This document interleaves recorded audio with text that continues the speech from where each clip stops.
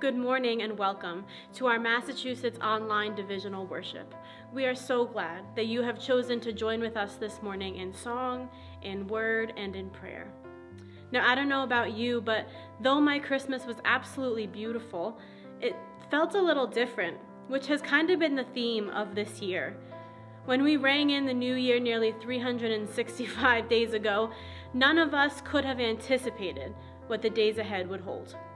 I vividly remember sitting in my corps building on March 12th, listening to the governor give a mandatory order about the closure of schools for the next two weeks. And then those two weeks turned to four, which eventually led to the rest of the school year. On that day in March, we never imagined that the months ahead would hold such difficulty. Political tension, civil unrest, racial division, heightened violence in our cities, widespread wildfire, and through all of that, a global pandemic that has claimed the lives of hundreds of thousands of loved ones. 2020 has been challenging, to say the least. But this morning, on this last Sunday of what has been a year full of unknowns, I challenge us to put those difficulties behind us and to move forward with hope.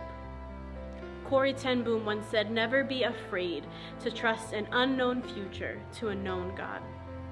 We serve an ever faithful God who knows exactly what we are stepping into, and because of that, we choose to move forward in hope with faith alongside our God who never leaves us or forsakes us. We choose to look forward knowing that God is doing a new thing.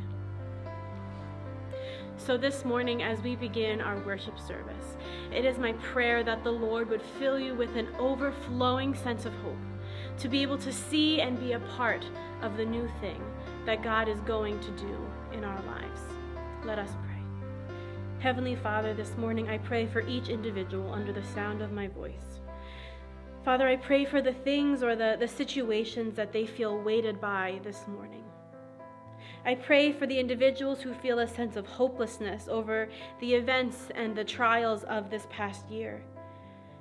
I pray this morning, Lord, that you might remind us of the hope that can be found in you. Being a believer, being a follower of Jesus does not mean that we are exempt from difficulties or from heartache. Being a follower of Jesus does not mean that we will not experience anxiety or grief or, or pain.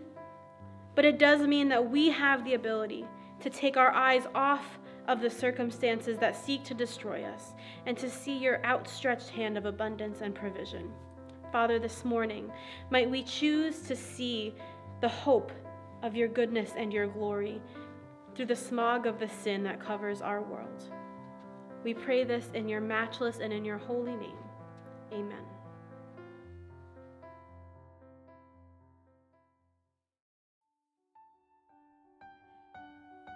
Praise be to God, the Eternal One, for he has done the impossible.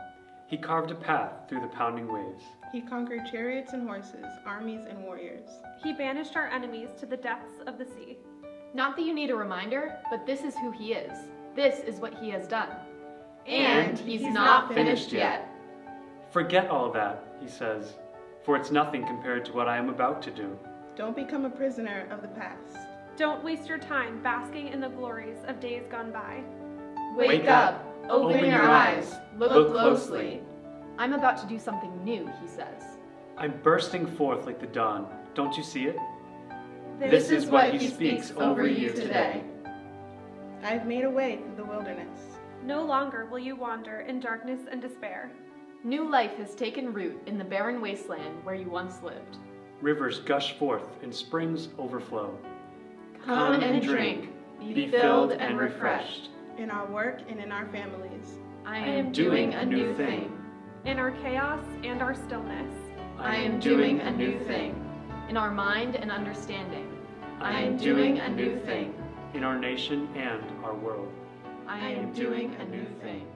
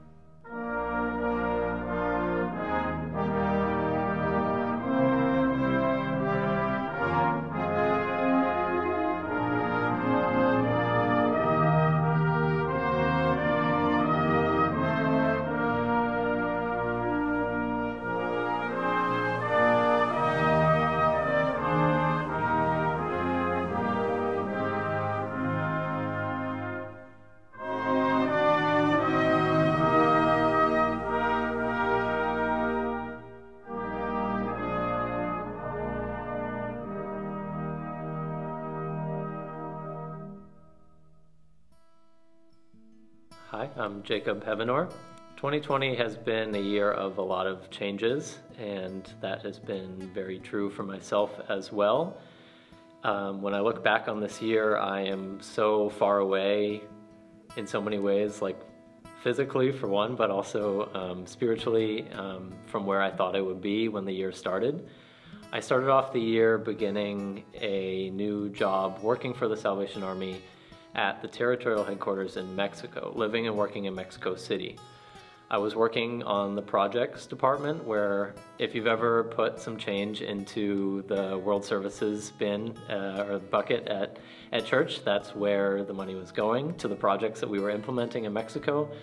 Working on a lot of children's homes, working on a lot of um, upkeep of the centers throughout the country, but also developing future programs for migrants because that's a, um, a big issue in the country of Mexico, especially up around the northern border with the United States. Unfortunately, we were just starting to make some progress. I was just getting comfortable. I was really getting into the groove of things, and really we were starting to see an impact when the pandemic arrived. I was forced out of the country back here to Massachusetts. Um, that doesn't mean that the work stopped, of course. Um, if anything, it picked up. In Mexico, they're working so hard now um, fighting against the pandemic while also managing the migrant crisis and so many things at the same time, and definitely keep them in your prayers as they continue to work through all of those things. I had to return home and start fresh, and I had to look for what God was going to do with me when I had thought that I had something new set up and ready to go. I had to reassess. Um, it wasn't that He had led me down the wrong path, I would say, but definitely um, what I had done wasn't where I was supposed to be at the time. For whatever reason, um, what I had done I felt was good, but it was time to look for something new. I took the skills that I had developed down there and I can now say that I'm happy, happy to be doing what I'm doing now, which is working um, to help foster kids in the state of Massachusetts get immigration status, most of them having traveled up through Mexico from Central America, where you can see the parallels and see how what I've done in the past is applying to what it's doing. And I really see how God is using me every day where kids that thought they had no future here, kids that didn't know if they were going to have to go back to a place that, that is completely foreign to them, are now seeing how um, there can be a path to them, that there's a, there's a future for them, there's opportunities for them. And that is so rewarding every single day how I can help kids see that next step, see that there's not just darkness ahead. Um, and as I said, I've come so far this year and in so many ways that I didn't expect.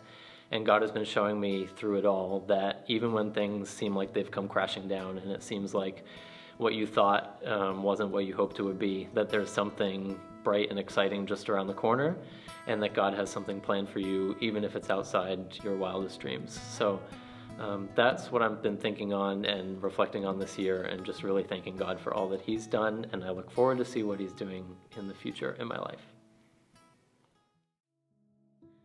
Each week in our online worship, we have a set aside time of intentional prayer to call upon the name of the Lord. This morning, as we stand right in between the old and the new, we remind ourselves of just how much we need the presence and the guidance of God as we face the future. Let's pray together. Lord, in the midst of such uncertainty over the days ahead, would you remind us of your unchanging love? In the midst of such heartache, would you draw ever so near with the presence of your comfort? Father, might you renew within each of us the commitment that is ours to be hearers and doers of your word.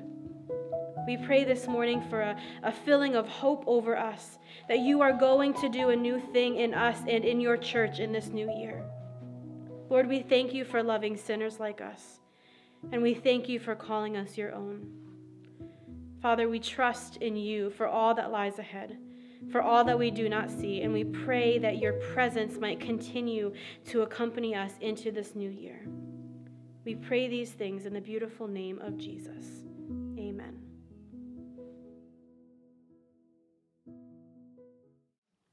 Hi, I'm Luke. I'm Peyton. I'm Sydney. And I'm Emmy. And this morning, as we celebrate the last Sunday of 2020, we're going to be talking about what it means to be people of expectation. What is expectation? It means to be an expert. I would know. I'm basically an expert at everything. Um, hey, expert, that's not what it means. Expectation means waiting with hope, or to be looking forward to something. We just celebrated Christmas, and that's one of the greatest times of expectation that we celebrate as Christians. Oh, so you mean like how Mary was pregnant and expecting a baby Jesus? Yeah, kind of. Every day that we drew closer and closer to Christmas, feelings of hope and joy just overflow. And now, like the child who is awaiting Christmas Day, the mother awaiting the birth of her child in a stable, like the world awaiting a savior, there are so many people in our world expectantly waiting for change. Wait, I have the perfect idea for a game that will help us understand the joy and excitement of expectation. Out of all the eggs in front of us, only one of them is raw, and the only way to find out which one is raw is to start cracking. We're Team Sydney. Sydney and Emerson, and we're here for the win. And we're Team Layton. Hey. Ah! Hard boiled.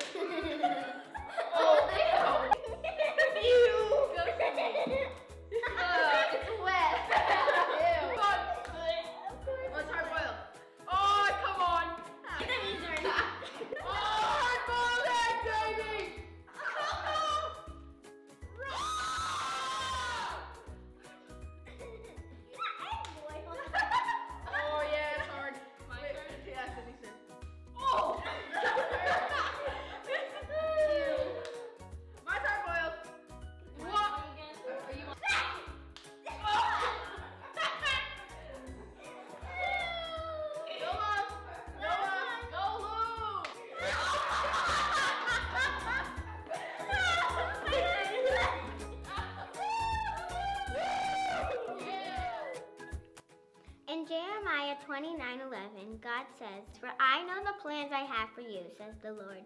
Plans for peace, not evil. Plans to give you a future and hope. Never forget that.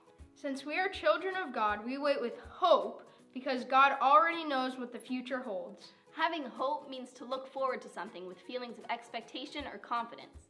Since we are God's children, we always have hope because we have God living within us. The word hope in the Bible expresses confidence and assurance about the future because it's based on God's promises, God's character, and His faithfulness. All this talk of hope reminds me of one of my favorite stories in the Bible. There was this guy, and his name was Daniel. And one day, King Darius made a decree, and he said, Anyone who prays to any god or human being during the next 30 days, except for His Majesty, King Darius, will be thrown into the lion's den. When Daniel heard this, he said, Nope, not gonna happen. He went home, got on his knees, and prayed to God, just as he has always done. Some really jealous men who were advisors to the king learned that Daniel was already disregarding the decree. They went straight to the king to tell him just what Daniel was doing. They insisted that he face the consequence and be thrown into the lion's den. And that's what he did. The men had Daniel brought to the king, and the king had Daniel thrown into the lion's den. Then the king said, May your God you serve continually rescue you. The stone was rolled over the den. And the night came. The king was so anxious over the whole thing, he couldn't eat and he couldn't sleep. The next morning, the king rushed to the den. And when he got there, he shouted, Daniel, servant of the living God, has your God whom you serve been able to rescue you from the lions? And Daniel shouted back, God sent his angel, and he shut the mouths of the lions. They have not hurt me, because I was found innocent before God, and also before you. How amazing is God? This story gives us hope. If Daniel could walk into the lion's den with all of the odds stacked against him and still come out victorious, we can walk into his new year full of hope over what God is going to do. The world will tell us to put our hope and confidence in ourselves and those around us, but God tells us to place our hope in Him. When our hope is in Him, we will find the strength we need to face any challenge that will come our way. None of us could have expected to face the things that came our way last year, just like the king never expected Daniel to be alive after sleeping in the lion's den, and like how none of us could have expected which egg would be the raw one. But because of Jesus, we have hope for what comes next. We don't need to be anxious or worried. We can rest on the truth of God's word and find peace in his unfailing love for us.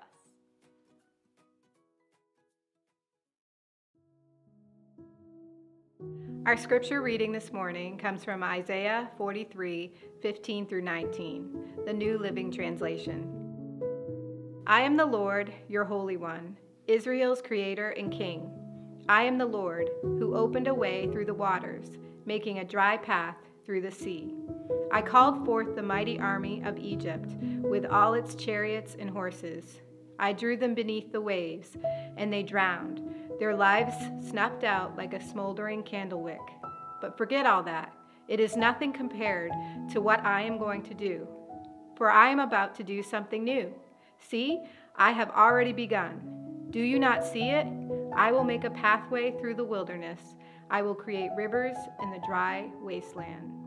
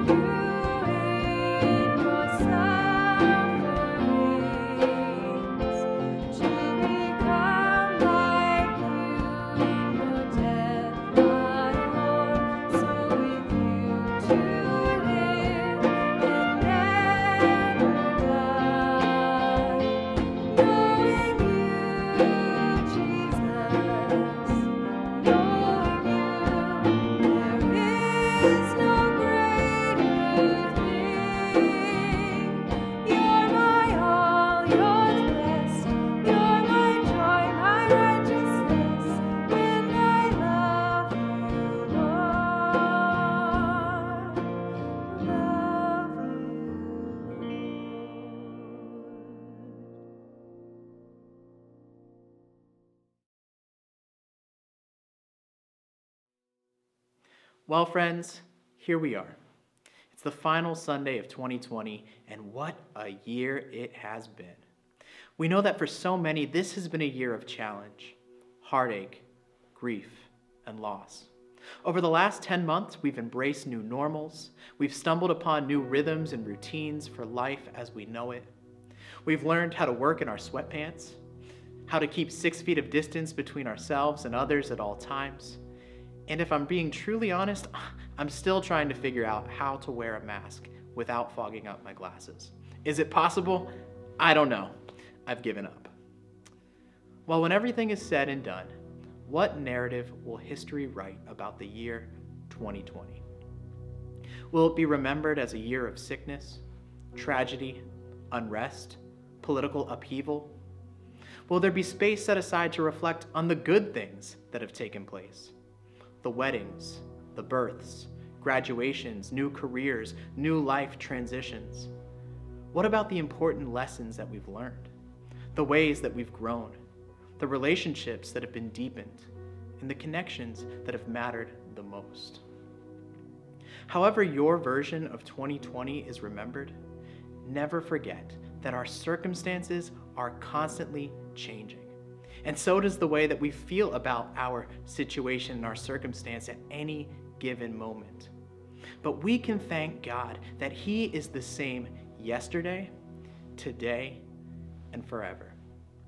When life is tragic and grief stricken, He is always good. When our faith is erratic and unsteady, He is always faithful. As you reflect on everything that's transpired this past year, I pray that you will make space for hope to reside, because our confidence rests upon a sovereign God who is never caught off guard, who is never left unprepared. As eager as we might be to, to finally turn the page on 2020, know that even these days have been accounted for.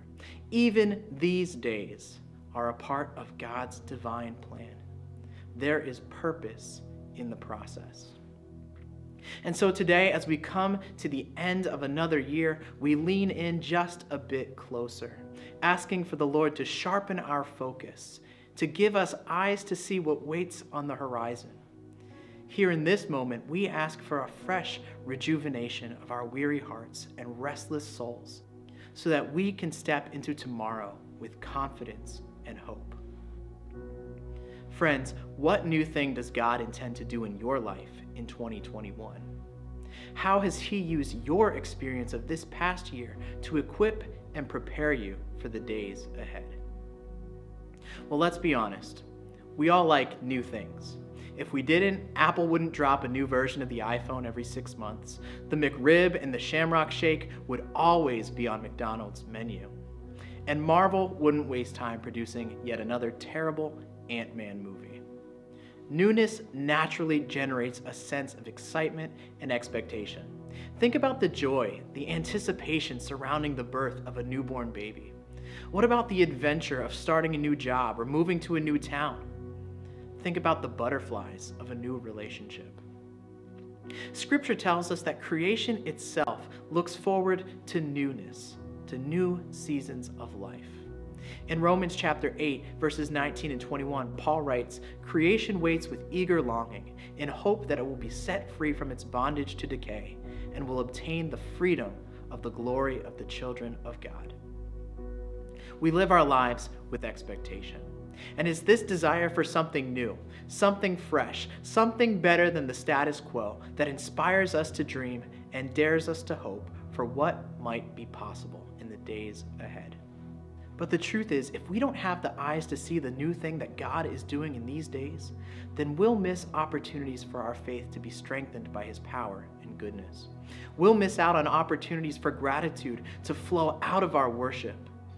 We will fail to give God the praise that He deserves for what He's already done and what He intends to do. And so, with this in mind, we can begin to understand why Isaiah says in verse 18 of chapter 43 Do not remember the former things or consider the things of old.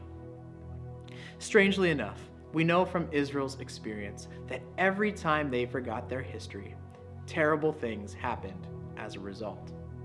Because they failed to look back and remember who they belonged to and what God had accomplished on their behalf, they were led astray, time after time after time.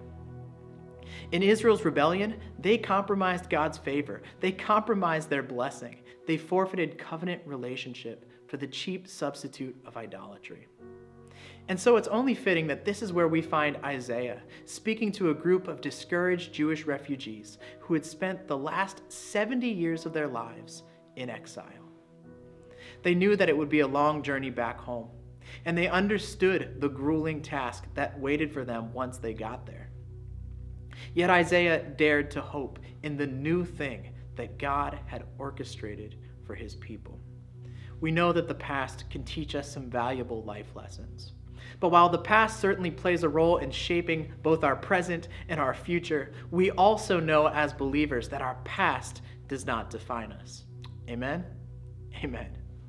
Our past should never be permitted to hold us captive.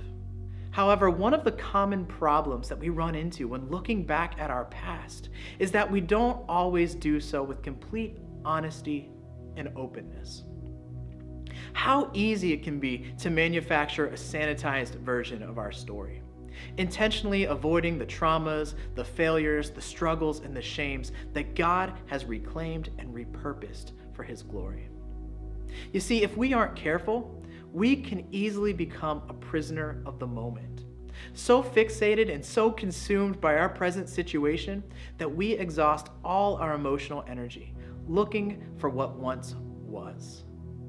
If only somehow we could get back to those good old days when everything just seemed right. Oh, how easy these romanticized versions of the past neglect to tell the real story of the challenges and the struggles that were also very real and very present in that particular time and place. It's impossible to move ahead when we're stuck looking in the rearview mirror. You see, the past can be a rudder to guide you, but it should never become an anchor to drag you. We learn from the past, but we do not live in the past. We all remember Israel's grumbling in the wilderness, right? If only the Lord had killed us back in Egypt. There, we sat around with pots filled with meat and ate all the bread that we wanted. But now, you, Moses, you've brought us out into this wilderness to starve. If only, if only, if only. How often have our if onlys prevented us from reaching out for the new thing that God has ready and waiting for us? This is why Isaiah warns the people not to be held hostage by the past, to not give in to the temptation to give power and authority to the masters of fear and doubt. Isaiah knew that if God's people were to do this, they would become paralyzed, unable to move forward in hope of God's provision. In the mid 20th century, there was a notorious newspaper editor by the name of Henry L. Mencken. Mencken was known for his pessimistic outlook on life. He was also known for his relentless criticism of religion, faith, and the belief in an almighty God. Mencken once claimed that hope was nothing more than a pathological delusion in the occurrence of the impossible. You see, Mencken believed that it was a total waste of time for people to chase after what he considered foolish ambitions and empty expectations. Mencken thought, why dare to hope when life is destined to disappoint? Man, what a miserable perspective. Yet the reality is that for so many today, hope is virtually non existent. A smoldering ember extinguished by the harsh realities of a cold, dark world. Hopelessness is amplified every time we witness another senseless act of hatred, violence, greed, and brutality that dehumanizes and degrades the image of God in our neighbor. The murmurings of sin and death remind us just how weak and powerless we can be. We know this to be true every time that we come crawling back to the same destructive pleasures, the same numbing addictions, the same patterns of abuse and dysfunction, the self sabotage, and the relapse. In a year such as this, many of us have become profoundly aware of the limits of our emotional and spiritual capacities. 2020 has revealed a lot about the way that we process grief, the conditions for gratitude, and how much or how little worship is a priority in our lives. The truth is, challenging times expose things about ourselves that we would never discover when our hearts are at ease. Challenges reveal what we value, whom we trust, and how strong our foundation really is. Suffering has the potential to do one of two things. It can either deepen our dependency on God's purpose and power, or it can harden our hearts and our minds in a posture of rebellion, hardening our hearts to the point of hostility to God's will and His way. You see, God made Israel sit in their suffering, but He didn't leave them in their suffering. 70 years of exile were needed before hope could be realized, before they could see the new thing that God had prepared. As believers, we should never settle for a hopeless existence. We must never view our momentary troubles as any match for the power of an omnipotent and eternal God. God is for you. He always has been and he always will be. But this doesn't mean that the evil one won't try to throw spears in your direction. Navigating this world will always be a challenge for those whose faith is centered on the cross.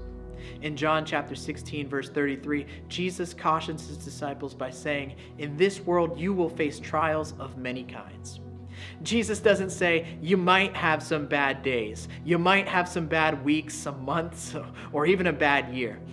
No, Jesus guarantees that you will. But in the very next breath, Jesus delivers the promise that restores hope Take courage, for I have overcome the world. In our flesh, we tend to view God through the lens of our circumstances. We cry out, How could a perfectly good God allow such pain and suffering and brokenness to exist? But a heart of trust and expectant hope enables us to view our circumstances through the reality of an almighty God. Through Israel's new Exodus in Isaiah chapter 43, we are reminded that God always makes a way, even when we don't yet see it or comprehend it. Just like God led his people out of Egypt and through the Red Sea, he would also lead them out of Babylon and through the desolate wilderness that lay in between. Just as the Lord had defeated Pharaoh's army, he would also snuff out Israel's enemies like a smoldering candle wick. The new thing that God did for Israel provided a glimpse of what Christ would later come to fulfill. God speaks over Israel I am making a way for you in the desert. Jesus says to you and to me, I am the way, the truth, and the life.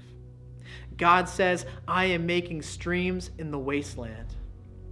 Jesus promises, whoever drinks the water that I give him will never thirst. Newness is all about transformation. Rivers cannot run through deserts without fundamentally changing them. Likewise, God's love cannot flow through our hearts without radically transforming us. Before we can fully embrace His new thing, we must be willing to relinquish and let go of the old. Watching God bring life and restoration out of death and destruction is the centerpiece of Christian worship. This is the good news, the hope of the gospel. This is our story. And so today, as we eagerly look beyond 2020 to the new thing that God is springing up all around us, consider this. The church has never been so attentive to those who can't leave their home as they are right now. And to think there have always been homebound individuals within our sphere of influence. The church has never been so creative in supporting those who have lost jobs or have had their wages cut, and yet people in our communities have always carried burdens of financial hardship. The church has never been so accessible to people who don't know Christ and most likely would never step foot in a physical church building. There's an entirely new demographic of unchurched people who are more inclined to hear the gospel preached over YouTube or Facebook out of curiosity. And yet, there have always been people in our neighborhoods, our communities, and perhaps even our own families who are always eager to listen, but not yet comfortable enough to enter our space. There are many examples, but the point is this. The new thing that God is doing should tune our ears and recalibrate our hearts to His voice in ways that we might never have considered or pursued on our own out of fear, discomfort, or complacency. If we don't allow God's new thing to create and establish our new normal, and we simply revert back to business as usual, then the train of God's mission will have left and we'll be standing there all alone on the platform. There once was a property owner who was selling an old warehouse that had been vacant for years and was in dire need of repair. You see, vandals had broken the doors from the hinges, they had shattered the windows, they had dumped trash throughout the interior. And so every time that the property owner showed the property off to a potential buyer, he was embarrassed. He was ashamed. He was humiliated by the sheer amount of work that would be needed to restore the warehouse back to its former glory. Obviously, the windows would need to be replaced, a professional crew would be required to correct any structural damage, and a deep cleaning would certainly be in order to sanitize the areas where trash had accumulated and rotted. One day, the property owner received an unexpected email from a potential buyer whom he had walked through the warehouse just a few days earlier. No repairs will be necessary, the buyer wrote. When I purchased this place, I planned to build something completely different. To be honest, I never wanted the building in the first place. I just want the land upon which the warehouse has been built. I love that story because it reminds us that God makes all things new. All he desires from us is access and permission to build again upon the ruins of what once stood. Friends, hopelessness blurs our vision.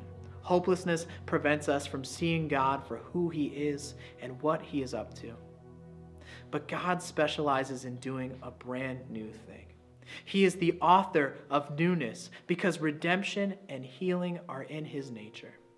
As the author and finisher of our faith, Christ always has the last word. He gets the final say. He is the one who has conquered sin and death. He is the king who is high and lifted up above every kingdom and power that this world has ever known. And it is he who will one day come again to make all things new. This is a promise that meets us in our fear and replaces it with hope. May this same hope sustain you today into 2021 and beyond. He is doing a new thing. Do you have eyes to see?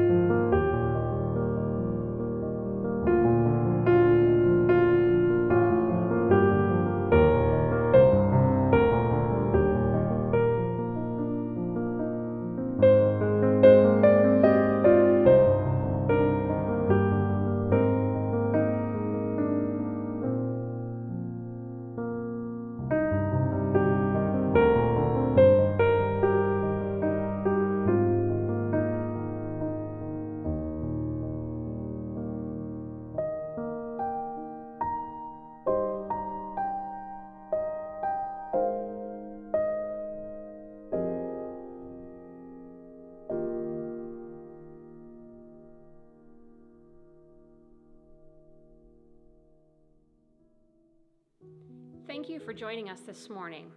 We also want to remind you that you still have the opportunity to participate in the ministry of giving through your tithes and offering.